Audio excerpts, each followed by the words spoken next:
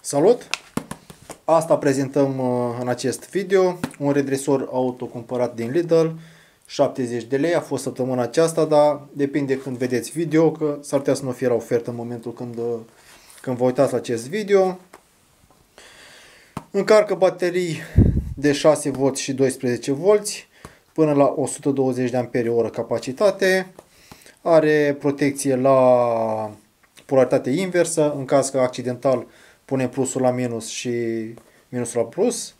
Uh, protecție la scurt circuit și la overload protection, la suprasarcină. Are un singur, but, un singur buton, are patru programe de, de încărcare. Deci, la exterior, cam așa arată cutia. Aici puteți uh, observa și pașii în care încarcă acumulatorul. Are 7 pași. În funcție de fiecare etapă are un anumit curent și o anumită tensiune.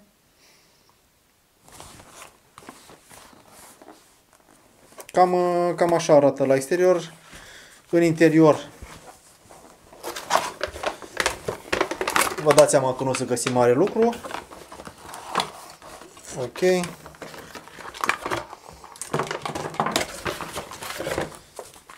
Avem o cărțulie.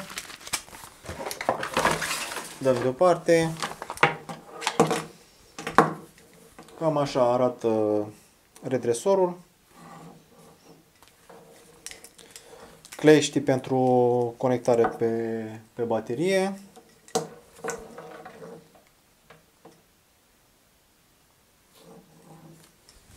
Avem un cablu, nu știu cât de lung este, dar o să vedem. Pe masă avem uh, următoarele lucruri. Un acumulator auto 12 V cu 50 de amperi oră.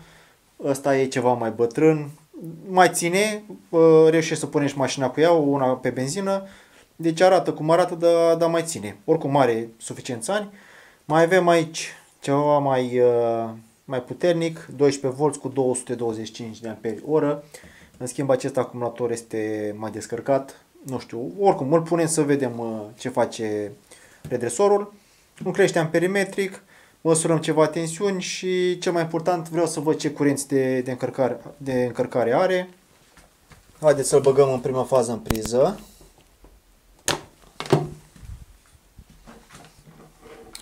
Display-ul s-a aprins. Cam asta indică în primă fază. Haideți să, să măsurăm și bateria. Să vedem cât ne indică. Sper să se vadă.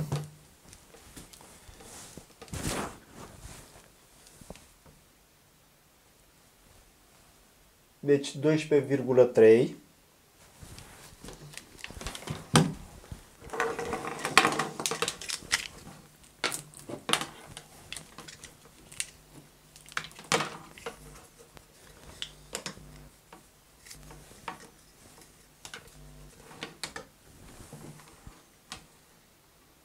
Deci, redresorul ne indică 12,4.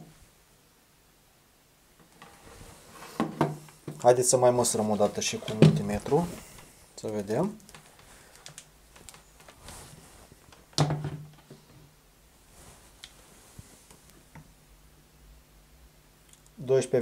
cu 12,4 Dar observați că nu pot să-l duc în 0 și în acest motiv 12,3 îmi dă pe acest aparat că am deja minus 0,1. Bun, în prima fază, după ce am băgat uh, redresorul în priză, el nu face nimic, măsoară tensiunea pe, pe acumulator, nu face nimic. Noi uh, în acest moment ar trebui să-i dăm programul de, de încărcare să selectăm uh, ce tip de acumulator avem de motocicletă sau auto. Haideți să pun cleștele înainte să-i dau drumul.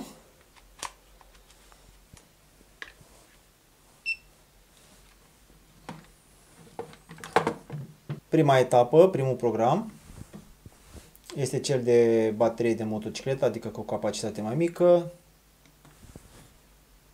Trecem pe auto.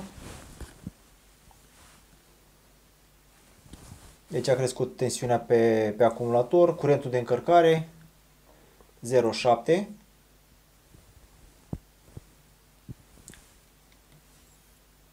Mai avem și programul de iarnă. Din ce am citit pe cutie, e undeva dacă acumulatorul este cumva mai, mai rece. Haideți să trecem la încărcarea normală.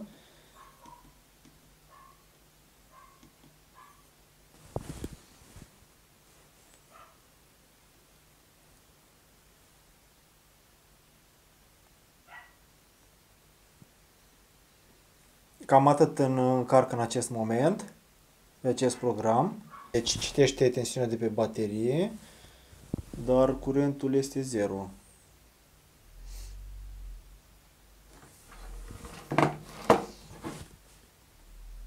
Da.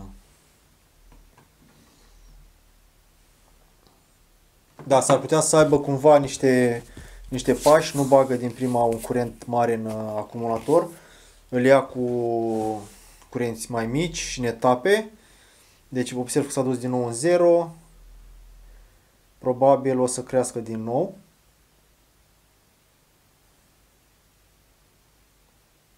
Haideți să vedem dacă o să crească. Am chiar sunt și eu curios să, să văd cum funcționează. Da. Deci cam asta este de principiul de funcționează. Principiul de funcționare, bagă în etape curent în acumulator. Haideți să testăm eventual și ce ne spune partea de reverse protection. Error. Nu înțeleg ce face așa. Dacă e normal să fac așa să dea eroare. Haideți să conectăm invers.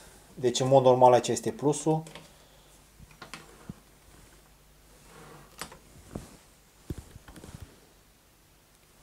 Mi s-a prins și, și un bec roșu că am inversat polaritatea.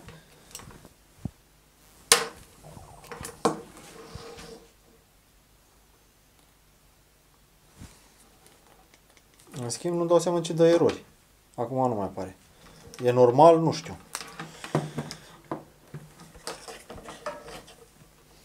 Haideți să punem din nou să văd dacă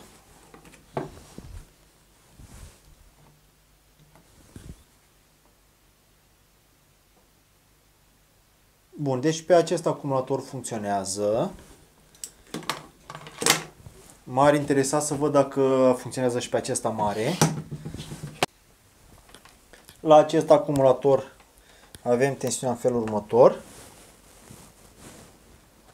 10,5 Așa că să conectăm redresorul să vedem ce face.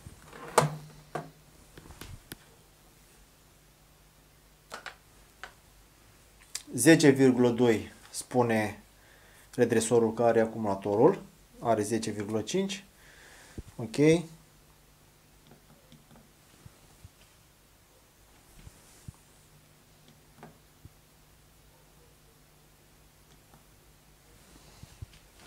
Hai să vedem și curentul.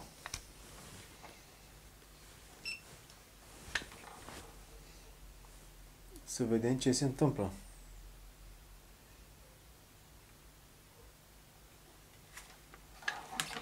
Nu știu ce se întâmplă.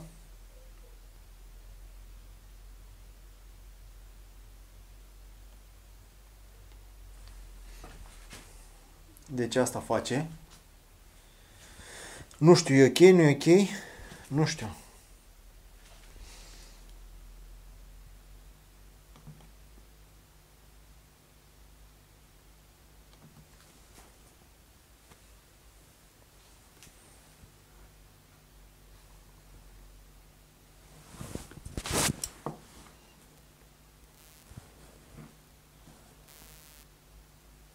Da.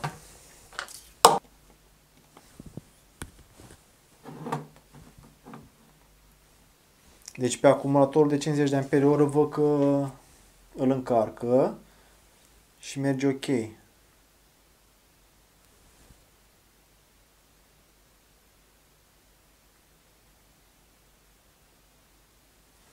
În schimb, la cel mare de aici, face cam urât. Nu știu dacă e ok să facă așa. Da. Deci, uh, cam asta ar fi.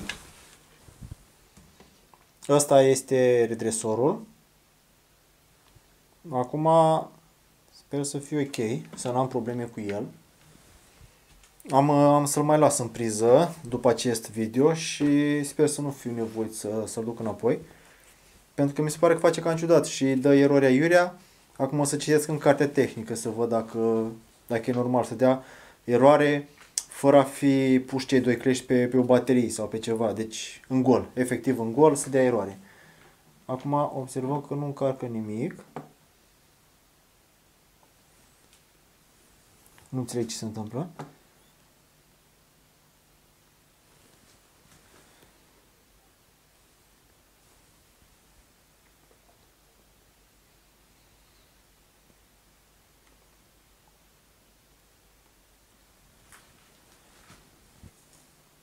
Haideți să duc din nou pe mașină.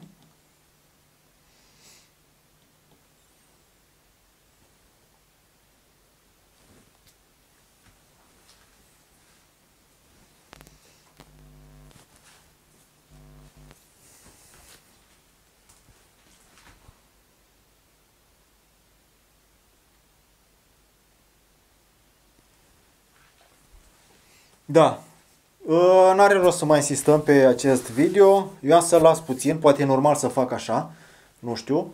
Eu am, uh, am să-l mai las puțin în priză, să-l mai las pe acumulator, pentru că așa o să așteptați și voi în acest clip să vă uitați și nu apare nimic interesant. Cam, uh, cam asta a fost, da, uitați că a început. A început încărcarea, curent 0,7 a băgat. Da, probabil că are el ceva, ceva pași, oricum ia să-l mai testez. Cam asta a fost uh, redresorul. Nu l-am mai probat deloc înainte, deci ce vă arăt acum, asta, asta a fost. Deci, într-adevăr, nu încarc acumulator mai mare de 120 de amperi oră. L-am testat pe acesta, de, pe acesta de 225. Nu-l încarcă, se manifestă destul de ciudat. Probabil uh, încearcă să ia un curent foarte mare la încărcare și atunci intră într-un fel de protecție acest uh, redresor. Aceasta este destul de mică, dar se pare că o încarcă fără probleme. Bun, cam asta a fost pe ziua de azi. Ne auzim la următorul clip. Mersi!